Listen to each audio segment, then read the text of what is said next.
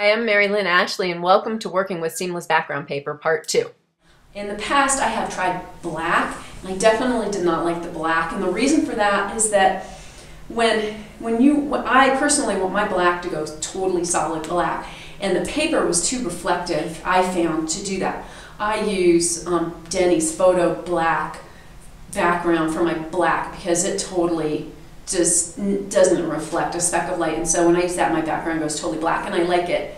Um, so those are the ones, there's all kinds of really cool colors and stuff like that out there. Also, the other thing that I really like with the Thunder Gray, and with any gray really you can do this with, is that if you, um, if you shine a light with a gel on it onto the background in a certain spot, it'll change the color of your background. So all of a sudden, not only do you have a gray background, but you have blue background, a purple background, a green background, a brown background. What I have found is that the orange gel on my charcoal gray turns it into this really nice brown that looks really good with so many of the brown clothes that are in style right now. It's sort of darker on the edges, almost going to gray on the edges, but I love that look. This cute little guy is photographed on my Thunder Gray paper with the orange gel pointed at it, and that's what turns it into this nice brown color. And check this out, this is with my green gel. I also have a pink gel that I love. I showed these guys earlier. Here they are with the blue gel shining at the background, and here I turned off the light, so it just went to gray. As far as lighting it, other than with the gels, um, I sometimes if I want just a, a, little highlight on my background, especially the gray, I will shine my little spotlight at it without any um, gel or anything, and it just sort of adds a little bit more interest to the background.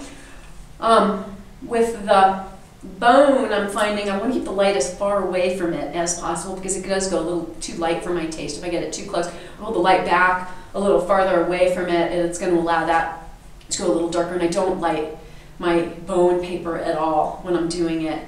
Um, that's all I can think of on the lighting on it. At the, well, one, one other thing is that I have heard of, I know Sarah Petty mentioned this when I saw her one time, and other photographers are doing it too. I saw some other photographer was doing the same thing recently in a video that I saw. They use this big ring light, which is this thing that goes around the lens of your camera, which usually is really like massively expensive. Put put their subject right up close to the background paper, like really close. Use this ring light, which sort of goes like all around, and puts this shadow that almost goes around them on paper, almost like the whole way around them on the back. There are also less expensive options for ring light, like little um, flash unit things that you can do that attach to your flash. But anyway, I haven't played with it, but anyway, that's another way that I've seen to light the seamless paper.